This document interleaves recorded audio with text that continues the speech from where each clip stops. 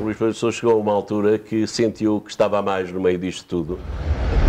Gostaria de fazer, mas não estar constantemente a olhar para a câmara e a dizer ligue para o 707, não sei quantos, não sei quantos, para ganhar não sei o quê. Isso não, não, isso era incapaz. Não, isso era incapaz, gostava-me custava a fazer isso porque não o sinto, não é? E então temos uma, uma, uma misericórdia a promover o jogo. E agora, acho que como jornalista não posso não posso ter partido. Ninguém é dono da verdade. Mas há, mas há pessoas que lutam pela sua verdade e há outras que vendem a sua verdade.